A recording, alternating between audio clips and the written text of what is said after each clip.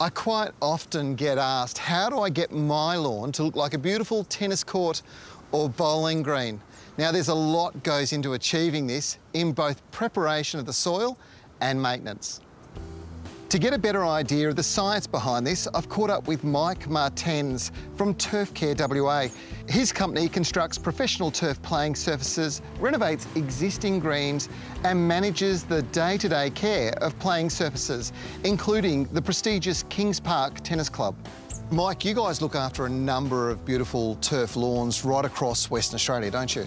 Yeah, correct. We look after about 35 tennis courts similar to this through the okay. western suburbs. We started out trading tennis courts and mm -hmm. uh, that is a big focus of our business is, is quality and quality outcomes for our clients. I find a lot of people are asking me these days, how do I get a bowling green or tennis court quality lawn at home? It doesn't happen by accident, does it? No, it doesn't. There's a lot of work that goes into it, a lot of science behind it.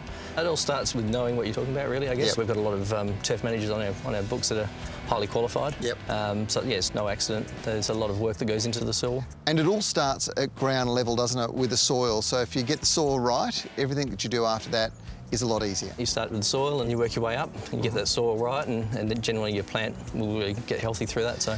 Now, some people think that lawn can be a water guzzler, and it's not, I know that, but you have to do it the right way, don't you? Yeah, correct. And the use of wetting agents and, and yeah, the right sort of clay and amendments uh, in the soil definitely reduces the amount of water. We'll sort of lay the, lay the clay down, plant the grass over the top and mm -hmm. sort of mm-hmm. grow it in that way. To get the grass to, to grow like this, maintenance must be a big issue. Yeah, so on this cool we mow twice a week mm -hmm. uh, at about three millimetres. Okay. So you're really stressing the plant out on the top, so you really need those uh, amendments underneath to, to make the plant really healthy. When it comes to watering, how many times is it watered? Uh, we water this twice a week, right. Um, but we look into um, longer watering sessions and less frequent. But we got the watering down here down to about um, 15 mil twice a week. That's that's the maximum through the heat of summer. Yep. And we can bring that down to as low as 22 mil. The key to having a truly beautiful lawn is making sure you've got the soil right and the addition of kaolin clay, rock minerals and silt mixed into the soil surface so the grass can grow through that is absolutely essential.